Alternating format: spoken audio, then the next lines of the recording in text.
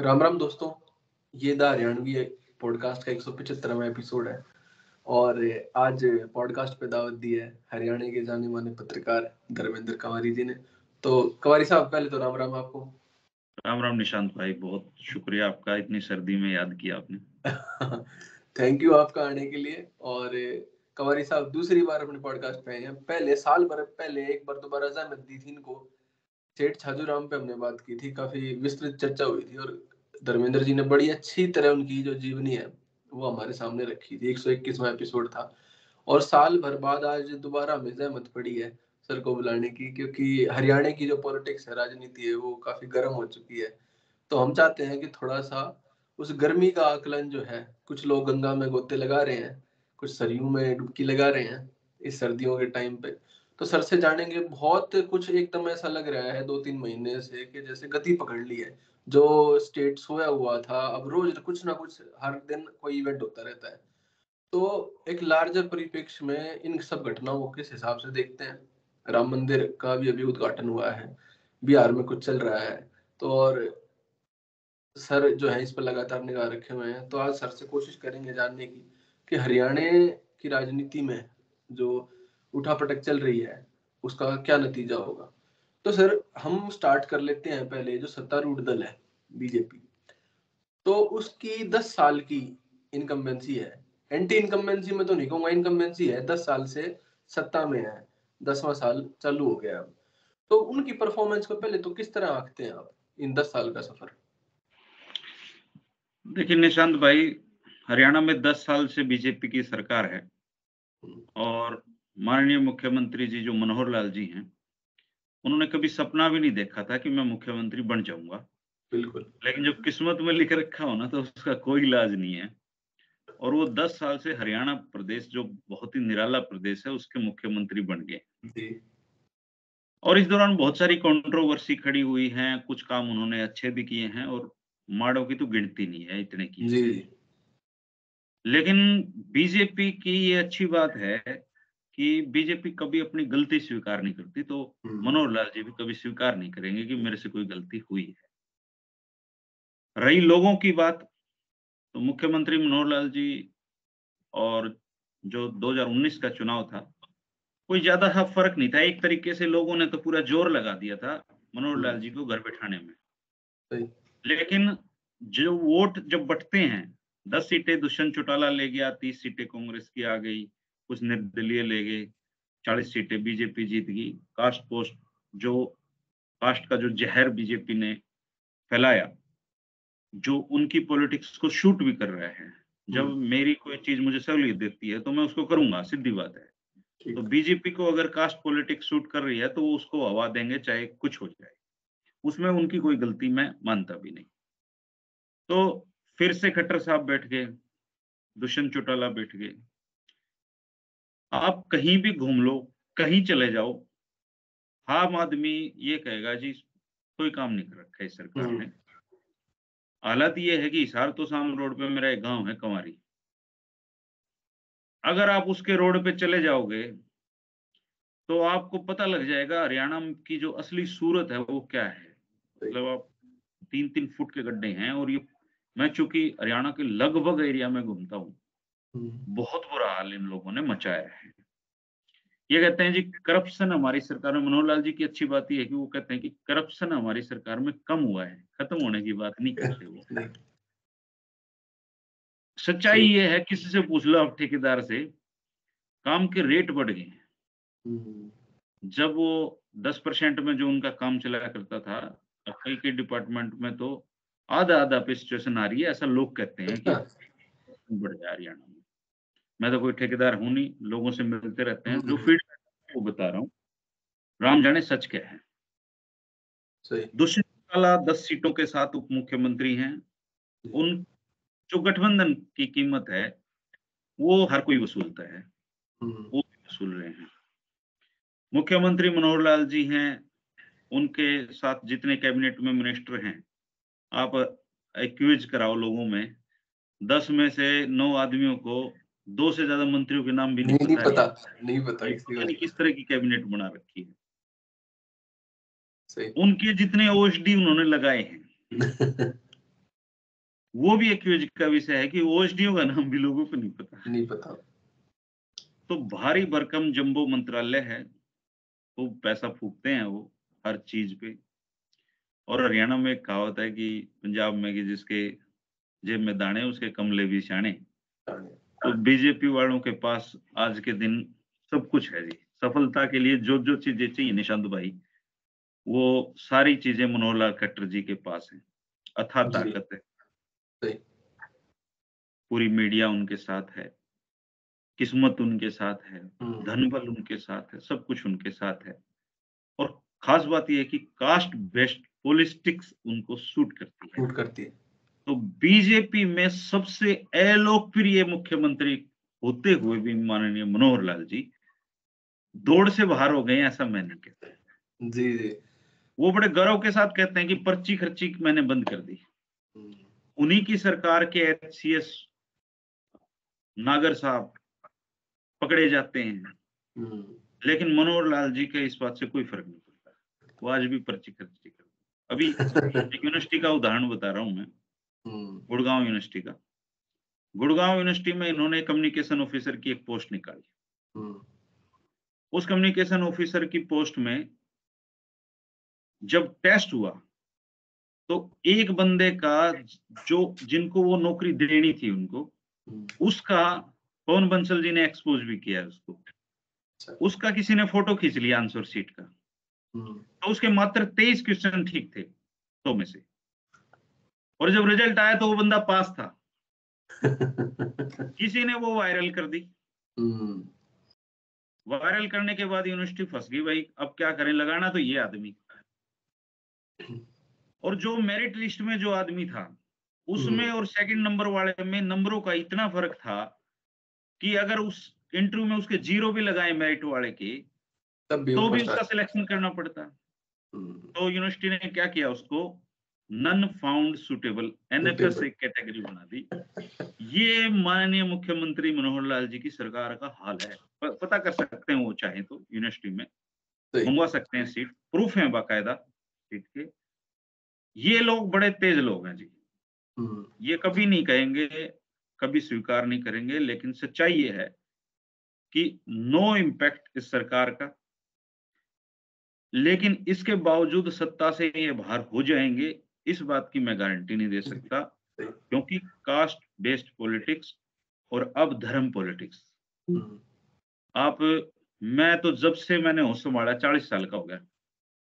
मेरे दादा ने मुझे जो पहली सीख दी थी वो ये थी कि गली में सुबह उठने के बाद जो भी बड़ा बुढ़ा मिले उसकी राम राम कहना है। हम्म। चालीस साल का होने बाद ईव गाँव में मिले जय श्री राम कहने वाले तो जब कंवारी गाँव में जय श्री राम कहने वाले हैं तो इसका मतलब हरियाणा के छह हज़ार चार सौ इकतालीस गाँवों में जय श्री राम कहनी खड़े हो गए। भाई हम तो राम राम कहनी लोग थे। राम हमारे जीवन का अभिन्न हिस्सा है। अंग है हमारी संस्कृति का हिस्सा है। हम्म, हम्म। लेकिन ये जय श्री राम हमारा मतलब कल्चर में नहीं थे। इस पे बीजेपी की इस वाले बीजेपी की ये सफलता है कि उन्होंने गाँव में जय श्री राम पहुँचा दिए। और हरियाणवी समाज की ये दुर्भाग्य है कि उनके जीवन से राम राम निकल गए। निकल गया। तो बीजेपी को सूट करता है। बीजेपी बहुत मौजूद पार्टी है देश में। सही। पूरे देश में बीजेपी आज के दिन आती है बाकी चीटी है ये हाल है। अच्छा सर इस पे जो दो कार्यकाल रहे दूसरे कार्यकाल और पहले कार्यकाल में कोई अंतर है? जेजेपी के सरकार में सम्मिलित होने के बाद 2019 में फिर ये किसान आंदोलन हुआ। उसके बाद 19 से 24 का जो कार्यकाल है और 14 से 19 का उन दोनों में भी कोई अंतर है? या जो ये स्थिति आप बता रहे हो ये लगातार सन चौदह से चली है ऐसे ही? काफ़ी अंतर है। 2014 से 2019 की सरकार में मुख्यमंत्री मनोहर लाल जी नए नए थे। हम्म। और नई नई वो है ना छम करके चले गए। उनके कैबिनेट के अधिकांश मिनिस्टर पहली बार बने थे। अगर आप रामविलास शर्मा जी को छोड़ दे तो ऑलमोस्ट सारे लोग पहली बार बने थे। हम्म। मन में एक उमंग थी करना है कुछ प्रदेश के लिए ना। दूसरा जब मनोहर लाल जी कहीं कमज़ोर पड़ते तो कैप्टन अभी मन्नू खींच लेते गार्डन है। धनखड़ जी खींच लेते थे। अनिल विज खींच लेते थे। हम्म। सरकार के सारे पिलर मज़बूत थे। उड़ा साहब दस साल राज करके गए थे वो जोश साहब एक आदमी दस साल राज करता है ना बड़ा शांति से बैठना चाहता है वो। राजनीति जैसी सोलित बरी हमें दिखती वैसी होती नहीं है ये कांटों के ताज है। चाहे इस मुख्यमंत्री हो और चना हो सोना पड़ता है सोलह पे। नींद नहीं आती रात को। खट्टर का खट्टर साहब से अगर आप अकेले में पूछो बुरा हाल होगा उनका। राजनीति मतलब बहुत बुरी चीज़ है। हम्म। तो वो पिल उसमें दूसरा गठबंधन नहीं था। कोई मतलब कमीशन का खेल नहीं था। नहीं था। तो होगा थोड़ा बहुत होगा लेकिन अच्छी सरकार थी वो। ठीक हम्म। काम किए उन्होंने। ट्रांसफ़र पॉलिसी लेके आए नौकरियाँ मेरिट पे हरियाणा में नई चीज़ थी वो मेरिट पे नौकरी। मेरिट पे नौकरियाँ फ़र्स्ट टाइम हाँ तो नई नई पॉलिसी थी इसलिए उन्होंने लागू भी ईमानदारी से की होगी। लेकिन दूसरी सरकार में गठबंधन की सरकार है गठबंधन की अपनी कीमत है जो दूसरे चौटाला हम्म। वसूलते हैं उस सरकार से। फिर जो मंत्री हैं वो इसे हैं जिन्हें हल्के से बार कोई जानता ही नहीं। आप शिक्षा मंत्री जी को अगर सुन लोगे आपको आपको हैरानी होगी यार ये आदमी शिक्षा मंत्री है हरियाणा का। खेल मंत्री उनका एक हम्म, कोच के साथ खुद आरोप मतलब कमाल है। तो आरोपों की जड़ी ऐसी लगी चार्जशीट में आ रहा नाम उसका मतलब चार्जशीट वो उस लड़की ने बड़ी मैं तो कहता हूँ फाइटर लेडी है। हाँ, उन्होंने लड़ाई लड़ी बड़ी बिल्कुल। ऐसे ऐसे मंत्री हैं सरकार में मैं हैरान होता हूँ कि हरियाणा चल कैसे रहा है। हम्म। तो ये फिर अपने खट्टर साहब के बयान देख लो आप। ट्रांसफ़र पॉलिसी ठीक थी पिछली सरकार में। पर्ची खर्ची अब इस सरकार में आलोक वर्मा जी हैं एचपीएससी के चेयरमैन शायद। हरियाणा पहला स्टेट होगा जिसमें हरियाणा पब्लिक सर्विस कमीशन जो हरियाणा के युवाओं को नौकरी देने के लिए बनाया गया उसमें बार का आदमी चेयरमैन है चेयरमैन है और पूरे हरियाणा में इन बीजेपी वाले भाइयों से भी पूछू मैं भाई तुमने बीजेपी में आरएसएस में कोई योग्य आदमी हरियाणा का भाई नहीं मिला जिसको एचपीएससी हम्म। का तुम चेयरमैन बना दो अब आलोक वर्मा जी क्या करते हैं ये जब कभी सरकार जाएगी और श्वेत पत्र आएँगे तब पता चलेगा बार के आदमियों की बड़े पैमाने पे भर्ती की। सही। इस पे आरोप भी लगते रहे हैं इस पे तो अखबारों में भी बहुत भर्तियाँ इन्होंने बाहर के लोगों की की है ग्रुप ए में ग्रुप बी में। हम्म। हरियाणा के लोगों को तो ये लगाते हैं कलर कचपड़ासी ये चीज़ें। बाहर वालों को देते हैं अच्छी अच्छी नौकरियाँ। जब कभी ये जाएँगे तब पता चलेगा। एक तो पहले नए थे ये लगन थी। चार तरह की जनरेशन होती है पॉलिटिशियन की तीन चार। एक होती जरनेशन जनरेशन का पॉलिटिशियन पहली बार चुना जाता है उसके मन में बड़ी उमंग रहती है सपने रहते हैं आपके मन में भी होंगे मेरे में भी होंगे। जब बार मौका मिलता है ना आदमी बड़ा काम करता है। कोशिश करता है कि लोग मुझे चुने इतिहास में मेरा नाम याद रखा जाए। हम्म। फिर दूसरी बार चुना जाता है तो सेकंड जनरेशन के नेता हो जाते हैं वो। सेकंड जनरेशन का नेता थोड़ा बहुत उसको सिस्टम में ढलने लग जाता है वो। और अगर उसका बाप दादा कोई पॉलिटिक्स में रहा हो मतलब बाप रहा हो तो वो उसका थोड़ा सा चीज़ें समझ में आ जाती है भाई देश ऐसे ही चलता ही है कोई ज़्यादा टेंशन ठाने की ज़रूरत है नहीं। फिर होते थर्ड जनरेशन वाले नेता जो दुष्यंत चौटाला टाइप ऐसे मतलब जिनका दादा भी रहा हो भाई बाबू भी रहा हो पॉलिटिक्स में। ये बहुत खतरनाक लोग होते हैं।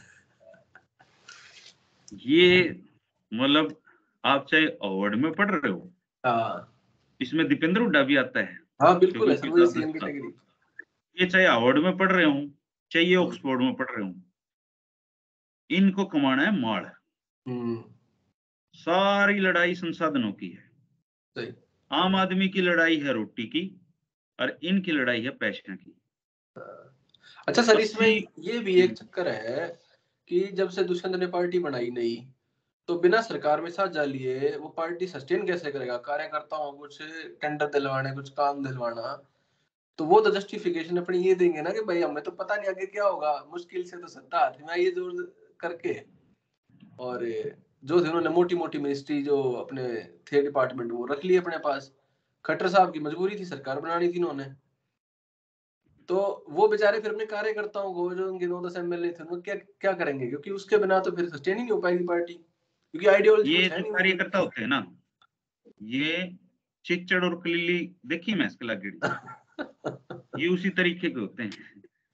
कार्यकर्ताओं से सरकार नहीं आती कहने की बात है। हम्म। हवा बनती है। चौधरी देवीलाल जी हवा बनाते थे। तो वो टाइम था कोई टाइम घड़ी थी। एक बड़े वर्ग ने ये फैसला कर लिया था बीजेपी को बार करना है। और उनके सामने दो मज़बूत आदमी थे। एक था कांग्रेस पार्टी और दूसरी थी नई नई बड़ी जननायक जनता पार्टी।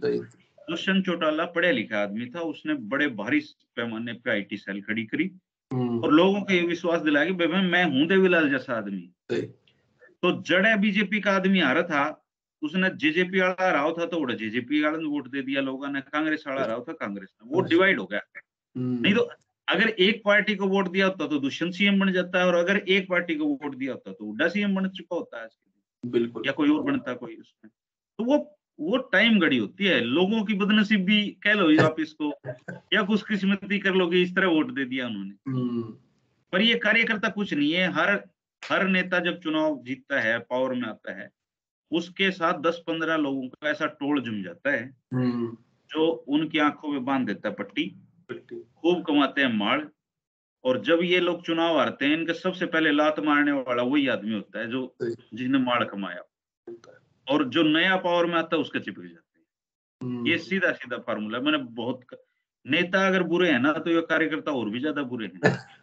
शोषण आम आदमी का करते हैं ये। उसके घर नेता को ले जाएँगे। वो बेचारा मावे की बर्फ़ी साल में एक बार अपने बच्चों के लिए कभी नहीं लाता होगा। लेकिन जब नेता घर आता है इनकी इज़्ज़त के लिए आदमी लेके आता है। माड़ा डलवा देते हैं। हम्म। शोषण आम आदमी का ही होता है बेचारे का। लेकिन ये कार्यकर्ता ये चिच्चड़ कलीली टाइप के लोग होते हैं चाहे ये बीजेपी के हों चाहे कांग्रेस के हों चाहे जेजेपी किसी के हों। और हरियाणा का कार्यकर्ता तो बड़ा मौका प्रस्ताव होता है। हम्म।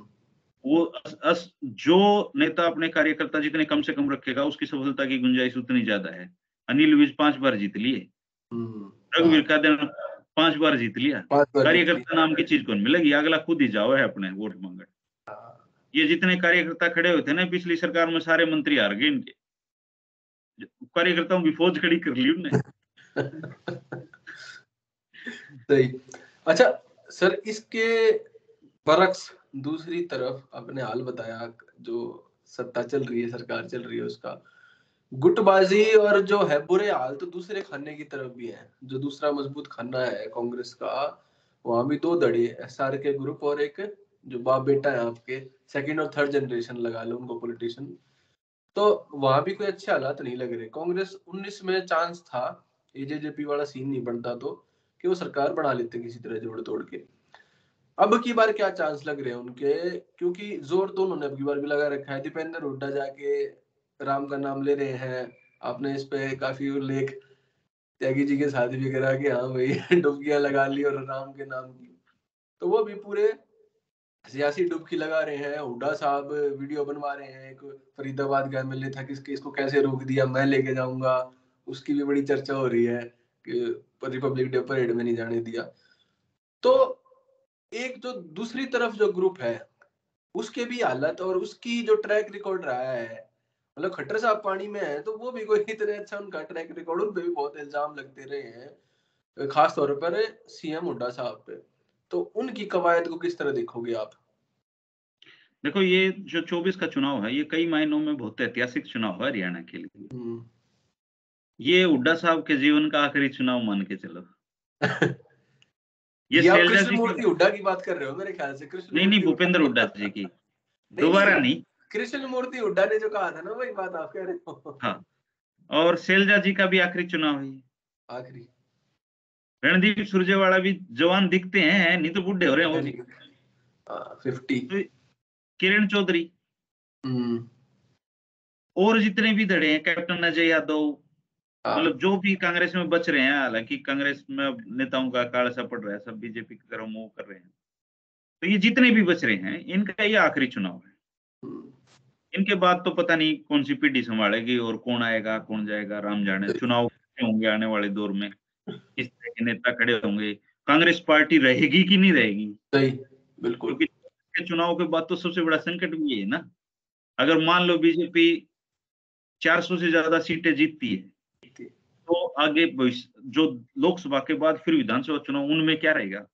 हम्म। अभी बहुत कुछ देखना है। हम बड़े गजब की पीढ़ी हैं। हमने चौधरी बंसीलाल को भी देख लिया। हम्म। हमने चौटाला साहब को भी देख लिया उठ को देख लिया खट्टर को भी देख लिया और हम अगली पीढ़ी भी देख लेंगे। हम मतलब ठीक लोग हैं। राजनीति की कई चीज़ें देख ली जो अस्सी अस्सी के आसपास जन्मे लोग हैं ना तो उन्होंने पुराना टाइम भी देख लिया नया भी देख लिया। तो जो आएँगे सारे हम्म। लगाने भाई पॉलिटिकल महत्वाकांक्षा चौधरी को इतने साल उसके मन में मैं एक मिनट रुकूँगा सर आपने एक मिनट रुकूँगा।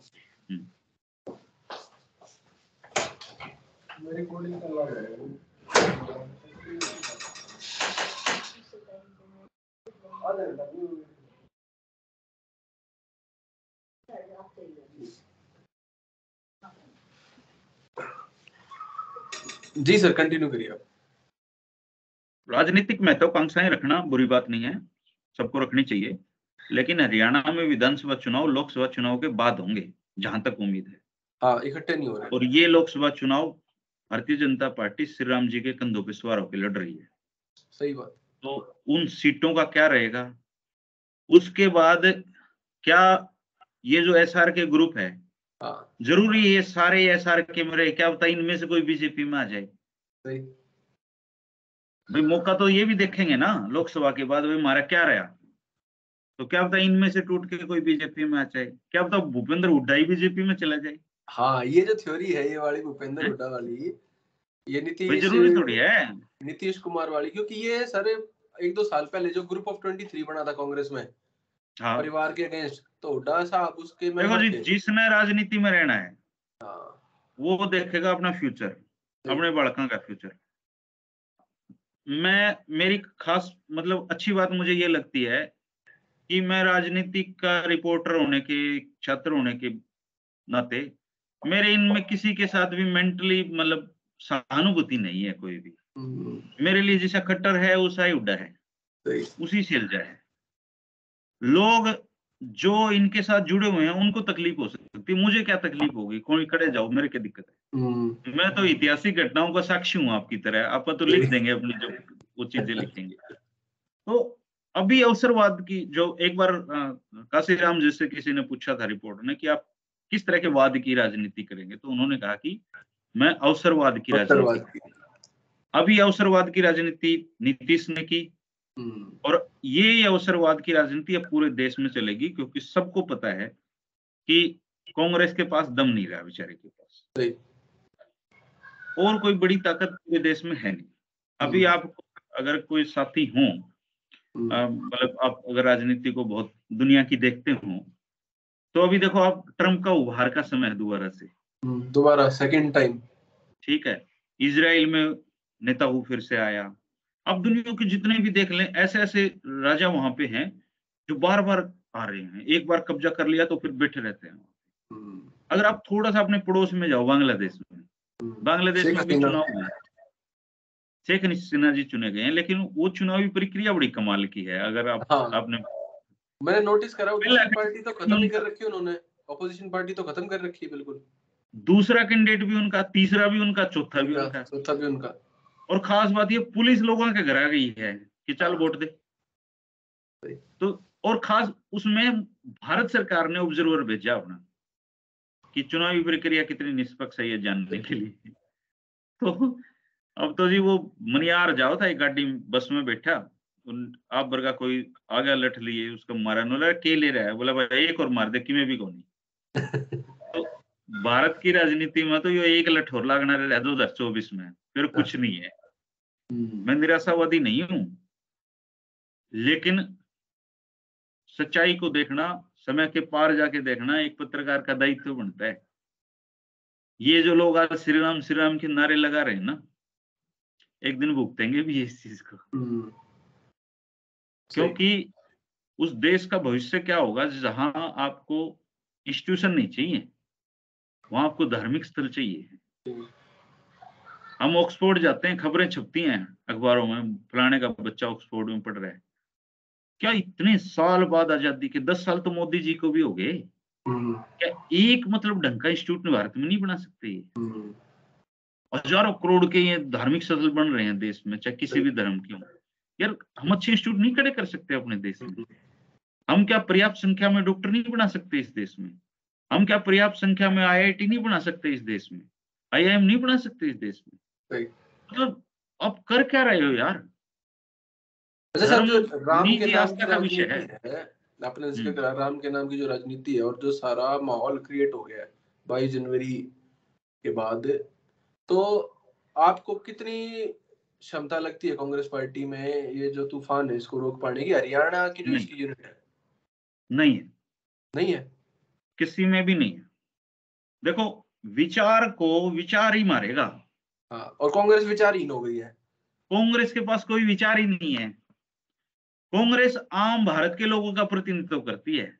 आम भारत के लोगों का प्रतिनिधित्व का मतलब है जो मौका परस्त हैं जो अवसरवादी हैं जिनकी कोई सोच नहीं है जो जो बिना पिंदी के लोटे हैं और ये सारे लोटे अब बीजेपी में सरक चुके हैं। धीरे धीरे भाई खट्टर का विरोध करने वाला कोई भी आदमी हरियाणा में ग्रुप डी की नौकरी पर खट्टर की जयकारे बोल सकता है। हम्म, अवसरवादी हैं हमारे खून में जेनेटिकली मतलब हम अवसरवादी लोग हैं। यहाँ विचारधारा कोई सवाल ही नहीं है। आप पूछ लो किसी से भाई तू कट्टर के साथ क्यों है या हुड्डा के साथ क्यों है? हम्म, बिल्कुल। उसके पास कोई लॉजिक नहीं है इस बात का। वो इसलिए साथ है उसको लगता है कि मेरे हित ठीक हो जाएँगे। मेरा व्यक्तिगत स्वार्थ क्या है? तो देखो पचास साल कांग्रेस ने राज कर लिया। अब आपको अगर याद हो अमित शाह ने बोला था बहुत समय पहले कि मैं पचास साल के लिए हम आए हैं। वो झूठ नहीं कह रहा है ये बात। 2019 18 या 19 में कही थी बात ये? दूसरा सवाल कौन उठाए इनसे? हम्म, आज आप और मैं बात कर रहे हैं फ्रीडमली। क्या पता आने वाले समय में हम भी ना कर पाए ये बात? भाई गुद्दी आज आज देश के जो अच्छे पत्रकार थे वो बेचारे कहाँ दर दर की ठोकरे खा रहे हैं कहाँ हैं वो? हाँ सारे ये तो यूट्यूब चैनल खोलना पड़ रहा है संस्थागत पत्रकारिता जो थी वहाँ उनकी जगह नहीं बची। संस्थागत पत्रकारिता तो भारत में खत्म ही हो चुकी है है ही नहीं। मोदी जी के खिलाफ कोई एक खबर चला के दिखाओ। और तो छोड़ दो फेसबुक पे एक पोस्ट लिख के दिखाओ। फेसबुक की रीच कम कर देता है इसकी दिखाएगा ही नहीं। हाँ। ये। तो लोकतंत्र कहने में अच्छा लगता है कि भारत लोकतंत्र लोकतंत्र नहीं है अभी मोदी तंत्र चाहिए हम्म, मोदी का ही तंत्र है ये सब। और आइडियोलॉजी नई है नया विचार है और नया विचार लोगों को लुभाता है। सही। अभी तो बीजेपी का समय है बीजेपी वाले मज़े लें राज के और मुझे लगता है इनके सामने कोई चुनौती है। बीजेपी गिरेगी जब अपने जब इसके विचार जर्जर हो जाएँगे हम्म, और इसके बराबर में कोई बड़ा विचार आ जाएगा। देखो ये सर्कल है। जब एक विचार की पूरी वो जो पीक पे पहुँच जाएगा तो क्या होगा? उसमें विसंगति आती जाएँगी। और तब एक विचार उसके सामने आएगा नया लोगों को लुभाएगा। जैसे केजरीवाल आया था नया विचार। तो केजरीवाल ने दिल्ली से साफ़ कर दिया वो मोदी जी वहीं तो रहते हैं। ना जीता पाए अपनी पार्टी। तो जब नया विचार इनके सामने खड़ा हो जाएगा तब बीजेपी हारेगी बाकी राहुल का कोई फ़र्क नहीं पड़ता। हाँ। दस साल होगी। दस साल होगी ना उसकी माँ को जेल में ठोका ना राहुल को ठोक पाए ना प्रियंका को ठोक पाए और तो और जो सबसे भ्रष्ट था जिसके ऊपर टैग है और वाड्रा को भी नहीं ठोक पाई है। भूपेंद्र हुड्डा को हरियाणा में नहीं ठोक पाई है। अच्छा सर, ये इस पे कॉन्स्पिरेसी थ्योरी ये कही जाती है कि इनकी साठ गांठ है अंदर खाने इनकी, खट्टर साहब और हुड्डा साहब की तो मतलब हुड्डा साहब के भी काम होते हैं, खट्टर साहब के भी काम होते हैं, वो जो है एक नकली वेमनेस है, स्टेज का पब्लिक कंजम्पशन के लिए। बीस साल की पॉलिटिकल अनुभव से बता रहा हूँ रिपोर्टिंग के। चेहरे और चरित्र, सबके एक जैसे। दिखाने भर को ये कांग्रेसी है, दिखाने भर को ये बीजेपी है, दिखाने भर को ये जेजेपी है, सारे एक जैसे हैं। जब ये मिलते हैं तो चाचे ताऊ हो जाते हैं, भाई हो जाते हैं, दोस्त हो जाते हैं, और जब ये पब्लिक में जाते हैं तो ये एक दूसरे के राइवलरी हो जाते हैं। बेसिकली मूर्ख हैं वे लोग, जो ये सोचते हैं कि हमारा नेता अलग है। कोई नेता अलग नहीं है। आज 45 परसेंट कांग्रेसी बीजेपी के हो चुके हैं। जितने भी पोटेंशियल वाले नेता थे जो बीजेपी थी वो हो चुके हैं। भारतीय कांग्रेस पार्टी असल में वो। तो ये लोग सोचते रहेंगे कोई फ़र्क नहीं पड़ता। अस्सी करोड़ लोग मुफ़्त के राशन पे जीते हैं भारत में। हम्म, मुफ़्त राशन देते हैं उनको। आला भारती जो है। हाँ। खुद सरकारी डाटा है कल अखबार में विज्ञापन आया हुआ था कि 80 करोड़ लोगों को मुफ़्त राशन। तो 80 करोड़ तो वो हैं जो सरकार की दया पे जीने वाले लोग हैं। दस करोड़ लोग ऐसे भी हैं जिनको मोदी आए राहुल आए कुछ फ़र्क नहीं पड़ता। कोई मतलब नहीं। उनका देश के संसाधनों पे कब्जा है। बचे ये बीच वाले मेरे और आपके जैसे लोग। ये तड़प तड़प के अस्सी करोड़ वाली लाइन में लगते रहेंगे। व्यवस्था में कहा? आप जब आप विकसित होते जाते हो ना जब आपके जीवन में शिक्षा का स्तर बढ़ता जाता है आप ऐसी शिक्षा ग्रहण करते हो जो आपके विचारों को खोल दे। तब आप सत्ता से सवाल करने लग जाते हो। और जब सत्ता से सवाल करोगे तो फिर सत्ता तड़पेगी। सत्ता को या तो काम करना पड़ेगा या सत्ता से जाना पड़ेगा। लेकिन अगर आप वोट श्री राम के नाम से दे देते हो बात बन रही है तो फिर काम करने की ज़रूरत क्या भाई? फिर अभी अच्छा, अभी ज्ञानवापी आना है ज्ञानवापी हाँ। भी आएगा। अभी हो गया मथुरा में बहुत सारे देखो मुगलों ने बहुत सारे मंदिर तोड़ के मस्जिदें बनाई थी। अब जो इशार का फिरोजा महल है हम्म। उसमें आप जाके देखोगे वो सारा किसी मंदिर के अवशेषों से बना हुआ है। वहाँ पे गणेश गुणेश सब कुछ मिलेंगे तो इस हिसाब से फिर फिरोजा महल भी छीने गए तो। हाँ। तो अभी तो जय श्री राम बोलो बीजेपी को वोट दो और बाकी अस्सी करोड़ वाली लाइन में लगते जाओ। सर आपने बात की विचारों की कि एक विचार जब उत्थान पे होता है हर चीज़ का समय आता है। कांग्रेस की जो समाजवादी या जो सोशलिस्ट पॉलिटिक्स थी नेहरू के टाइम से चलते चलते फिर वो उसमें संगतियाँ आ, आ, आ जाती हैं वो क्षीण पड़ती जाती है कुरीतियाँ बढ़ती जाती हैं और एक टाइम आता है जब वो ढांचा ढह जाता है। जो हिब्रिस है एक चीज़ का। चौदह में हमने हाँ। देखा वो चौदह में सेंध लगी और ढांचा गिरते गिरते मतलब वो कुछ लोग कह रहे थे वापस खड़ी हो सकती है लेकिन मेरे ख्याल से ऐसी चोट थी वो। चौदह के बाद लगातार वो नीचे गिरता जा रहा है और दूसरा आइडिया जो है जब वो भारत का आइडिया है भारतीय सभ्यता का कुछ कह लो धर्म का किसी दर्शन का वो उत्थान पर है। हिंदुस्तान में परंपरा रही कांग्रेस के साथ साथ भी 1950 से कुछ और धाराएँ रही हैं। चाहे जनसंघ था चाहे जनता पार्टी थी मिनिस्क्यूल प्रेजेंस थी वो धीरे धीरे जैसे कांग्रेस खत्म होती गई 67, 77, 89 फ़ेज़ रहे। चौदह एक वाटर साइड है इंडियन पॉलिटिक्स में कि उसके बाद से बहुत सारी चीज़ें जो पुराने पर्याय थे देखने के चश्मा जो था वो चेंज हो गया आपने एक आज ज़िक्र करा बीच में, आम आदमी आम आदमी लफ्ज का आपने बहुत इस्तेमाल करा दो तीन बार, कि केजरीवाल कुछ नया लेके आया था, शायद रीब्रांडिंग ऑफ़ जो कांग्रेस का जो आइडिया था ना सोशलिज्म का और वैसे वेलफेयर पॉलिटिक्स का दिल्ली के लिए, उनकी सरकार किसी न किसी तरह पंजाब में भी बनेगी फिर उन्होंने हरियाणा में हाथ मारने शुरू करे। एक दो नेता जो थे वो घुसाए अपने पास। निर्मल सिंह जी हो गए, जैसे नॉर्थ हरियाणा से तंवर साहब हो गए। जैसे ही जो कहते हैं कि कांग्रेसी जो होते हैं पुराने वो चुनावी मेंढक होते हैं बरसात का सीज़न आते ही अपने पाले ढूंढ लेते हैं। तो जैसे ही अब आ गया है मौसम चुनाव का तो निर्मल सिंह जी अपनी पुराने घर में लौट आए हैं घर वापसी करके। और आपने इंटरव्यू करा था उसमें तो पार्टी का नाम तक नहीं था। कह रहे यार उस वाली में आम वाली पार्टी में हूँ मैं तो। आम वाली पार्टी में? हम्म। और तंवर साहब वापस अपने सिरसा में बीजेपी का अब होल्ड है कांडा साहब ये मैडम हमारे का रिटायर्ड दुग्गल मैडम। तो वो उनकी शरण में बीजेपी के वहाँ चले गए हैं अपने घर में वापस। तो क्या लगता है आम आदमी पार्टी स्टार्ट रेस में पहले ही भागने से पहले आउट हो गई है डिस्कालीफाई हो गई है हरियाणा में? कोई और अल्टरनेटिव आइडिया था इनके पास या पहले से ही ज़ीरो पे थे? देखो केजरीवाल जी की पार्टी का जो विचार पैदा हुआ था वो अन्ना हजारे जी के आंदोलन के बाद हुआ। जी। लेकिन किसी विचार को वो बड़ा कर पाते। उनका बारूद खत्म हो गया। दिवाली थे केजरीवाल जी।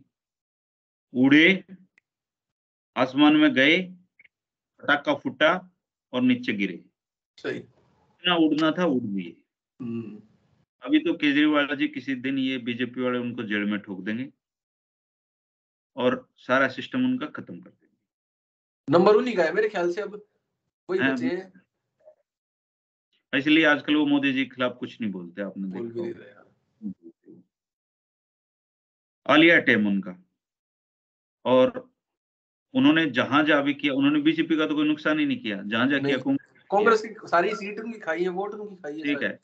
और ये चौबीस में ये कर लेंगे जो इंडिया गठबंधन बना रखा है ये तो नीतीश कुमार ने तो खत्म ही कर दिया इंडिया खत्म कर दिया खत्म कर दिया। तो छोट पोट सीटें जीत लेंगे या चालीस पैंतालीस पचास सीटें विपक्ष की आ जाएँगी बस इतना ही है। एक्चुअली में अगर यही लोग ठीक होते तो बीजेपी हम्म। की कहाँ जगह बनती? बिल्कुल। इन लोगों ने क्या थोड़े गंदे काम किए ऐसा हाँ। कोई पाप नहीं जो कांग्रेस ने ना किया हो। और ऐसा कोई पाप नहीं जिसका अनुसरण बीजेपी ने ना किया हो करा उसके बाद। ये पापी हैं कांग्रेसी ये महापापी हैं। दोनों का मकसद एक ही है किसी भी तरीके से सत्ता में बने रहना। नेताओं का इस देश के नेताओं का भी ये ध्येय है किसी भी तरीके से हम सत्ता में बने रहें। लोगों की कोई आइडियोलॉजी नहीं है भारत की। हम छोटे छोटे स्वार्थों पे मरने जीने वाले लोग हैं। देश हमारे लिए कभी प्रायोरिटी पे था भी नहीं। आज भी नहीं है कल भी नहीं है और मुझे नहीं लगता भविष्य में भी भारत के युवाओं की प्रायोरिटी पे देश रहेगा। हम व्यक्ति केंद्रित लोग हैं। हमें कभी ये सिखाया पढ़ाया नहीं जाता कि भारत एक चीज़ है। भारत के। बारे में सोचना है। छोटे छोटे उद्देश्यों जो लाभ है हानि है इनको त्यागना है। जीवन के बड़े उद्देश्यों के बारे में हम कहाँ सोचते हैं? हम छोटे रोटी की लड़ाई लड़ने वाले लोग पाँच किलो अपना मिला फ्री। हम्म। में कोई मतलब नहीं। जिस देश में अस्सी करोड़ लोग मुफ़्त का खाते हो यार निशान उस देश का भविष्य क्या होगा? सोच के देखो। अच्छा मोदी जी सर इस आपकी इस बात पे ये कहेंगे कि देखो धर्मेंद्र जी हम करते हैं देश की बात। आप बात कर रहे हो कि देश की बात कौन करता है? बीजेपी वाले और खास तौर पर जो उनकी लीडरशिप है वो कहती है कि यार देश की फ़िक्र तो सबसे ज़्यादा हमें है कांग्रेस के टाइम पे देखो देश का क्या हाल था देश को बचाया हाँ। हमने मैं तो मैं तो ये कहता हूँ कि तो आप देश की बात करते हो करते रहो हम्म। पर देश के लिए कुछ सॉलिड करके दिखाओ ना अच्छा लगता है अब मेरे पास एक आरएसएस के दोस्त आ गए हम्म। उनका बेटा जर्मनी में गया है और जर्मनी में जिस जहाँ पे वो गया है वहाँ पे एक बहुत प्रभावशाली जगह पे मेरा एक दोस्त है। वो कहीं से पता करके आया कि उसकी मदद की ज़रूरत उसको थी? तो मैंने मदद की कोई भी आ जाता है मदद करते हैं ये हरियाणवी स्वभाव है।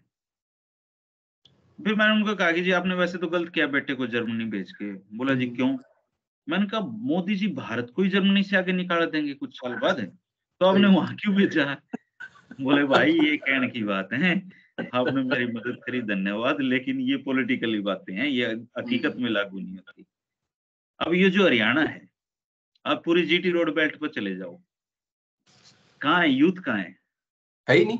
सारा Canada Australia USA Faridabad Sonipat hmm. आपका गुड़गांव। अगर इसको कोई हरियाणा मानता है तो अपनी गलतफहमी में है। ये तो हरियाणा है ही नहीं।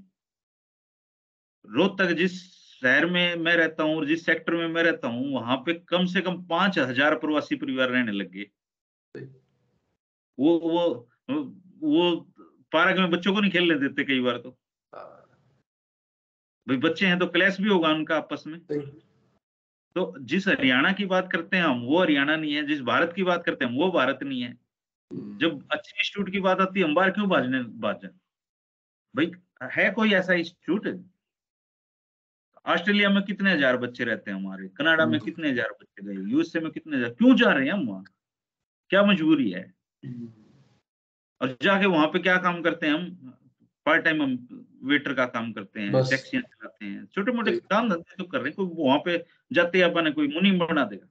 हम्म। जो स्टफ़ है जो ठीक ठाक से मेहनती लोग हैं वो देश छोड़ के चले गए। बचा कौन? आपका मेरे जैसा। भाई दूसरे का क्यों एग्ज़ाम्पल दे सही। तो क्या भविष्य इस देश? धर्मेंद्र जी आप कुछ ज़्यादा निराशावादी नहीं हो रहे हो हालत को देख के? आपको नहीं लगता कि उम्मीद ही करण को नज़र नहीं आती कि चीज़ें बेहतर हो सकती है? मैं निराशावादी नहीं हूँ। हम्म। मैं यथार्थवादी हूँ। अच्छा। मुझे कोई फ़र्क नहीं पड़ता देखो। मैं सबसे आसान उपाय इस देश में बाबा बन जाना। हम्म। और उसने सारे उसके पाया के भी हाथ लाओगे रुपये भी देंगे। और कोई भी ठीक ठाक बोलने आदमी बाबा अच्छा बन सकता है। वो आप भी बन सकते मैं भी बन सकता हूँ। तो अपना फ्यूचर तो है ठीक अस्सी करोड़ वाली लाइन में तो देख लगना नहीं। ठीक है इससे बेहतर है बाबा बन जाओ। बाबा बन जाओ। है ना? तो अब मैं यथार्थवादी हूँ निराशावादी नहीं हूँ लेकिन एक पत्रकार का ये दायित्व होता है निशान जी कि वो समय के पार देखे। हम्म। जहाँ ना पहुँचे रवि वहाँ पहुँचे कवि। कवि। तो अपना काम है सच बोलना। देखो जीवन में अगर एक आदमी भी रह जाएगा हाँ। तब भी मेरी कोशिश रहेगी कि वो अंतिम व्यक्ति मैं हूँ जो सरकार के को चेता सके सरकार के बारे में बता सके। ये मेरी पढ़ाई के दौरान मुझे बताया गया है। मेरी सोच ऐसी है। मैंने अपने दादा से यही सीखा है। मैं अपने दादा की तरह रहूँगा सारी उम्र सीधी बात ये सही। छोटे मोटे लोभ लालच ये व्यक्तिगत इच्छाएँ इनसे परे चीज़ें हैं अपनी। अपा एक राजनीतिक विद्यार्थी की दृष्टि से इस दुनिया को देखते रहे। हम्म। अरे सर इसमें मैं अगर आप दूसरी तरफ़ से बात करूँ जो आपने विषय उठाया था कि ये धीरे धीरे गौण होती जाएँगी जो विपक्षी पार्टियाँ हैं इनकी जिस टाइप बच के रहा। बच तो एक तरह से अच्छा ही है ये। इसमें बुराई क्या है? देखो नहीं नहीं मैं ये नहीं कह रहा कि विपक्ष नहीं होना चाहिए। विपक्ष ज़रूर होना चाहिए पर जिस टाइप का विपक्ष ये है इन्होंने अपनी हालत खुद ऐसी कर रखी है ये इस लायक नहीं थे। या इनकी टाइप की जो पॉलिटिक्स है वो खत्म होती जा रही है। जनता नकार रही है इनको इनकी। तो इनका वैसे जो एग्जिस्टेंस है ये आपने पापी महापापी की बात की कि जब तक रावण के सामने राम का उदय तो तब होगा ना कि भाई ये पहले ये वाले हटे छोटे कैरेक्टर हैं। अगर आप हम्म, हम्म। कह रहे हो कि भाई बीजेपी शत्रु भर रही है या एक राष्ट्रवाद की वो है पिलर उभर गया पूरा इतना मज़बूत सहतीर बन के एक पोल है।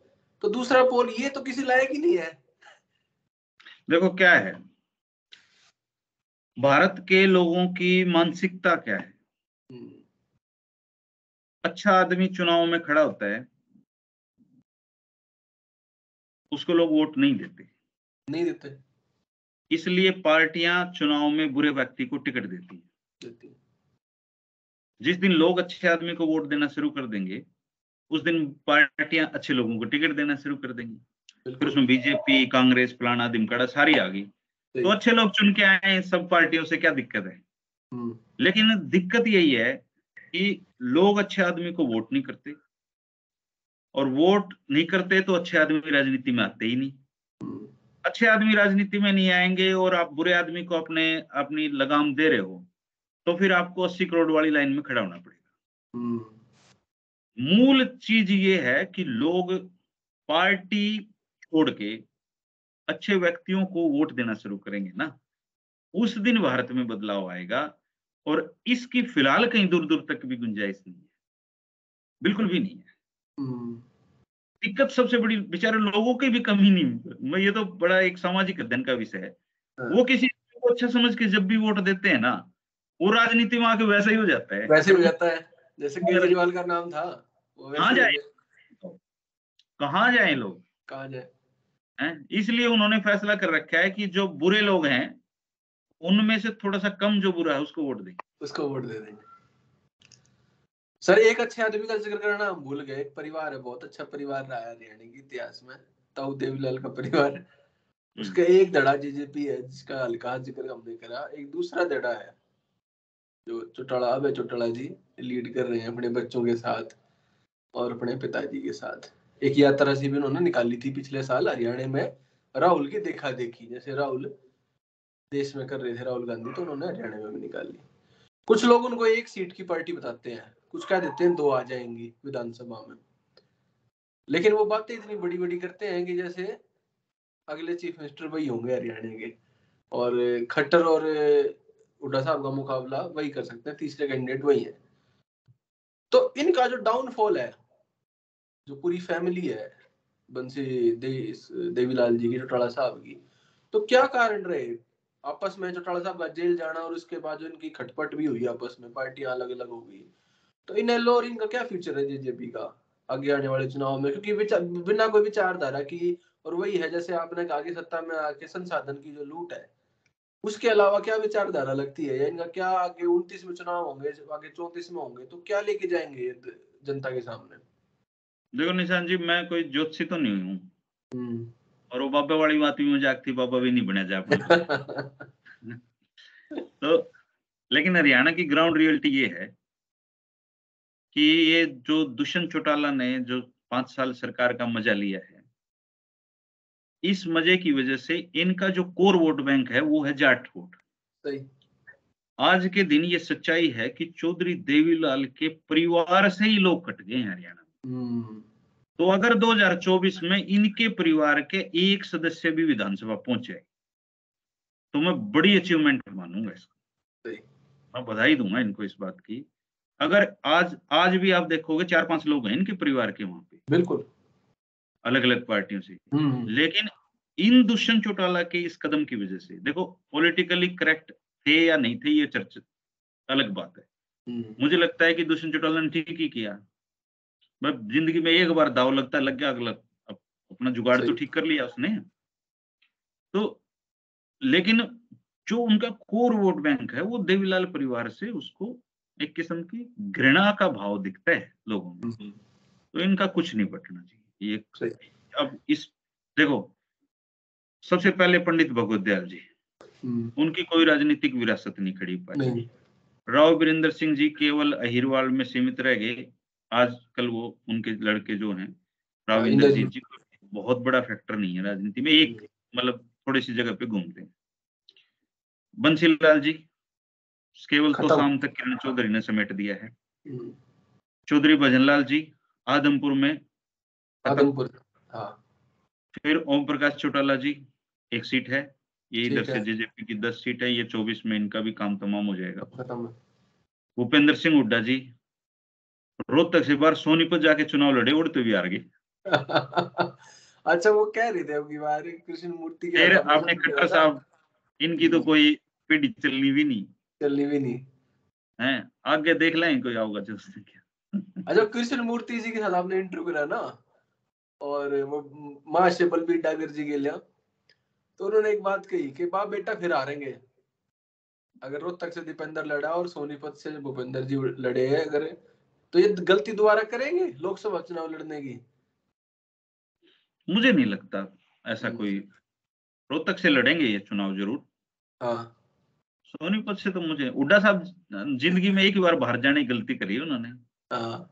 फ़र्स्ट उससे पहले तो उससे पहले तो पाँच चुनाव ये रोहतक में आ रहे हैं। रोहतक किलोई से आ रहे हैं। और इनका परिवार हारता ही रहा ये तो उन्नीस सौ इक्यानवे में दाव लगे हैं ज़िंदगी में। लगे और ये रोहतक वाले मैं तो हिसार का हूँ लेकिन अब मैं हरियाणा रोहतक में रहता हूँ कोई साल से।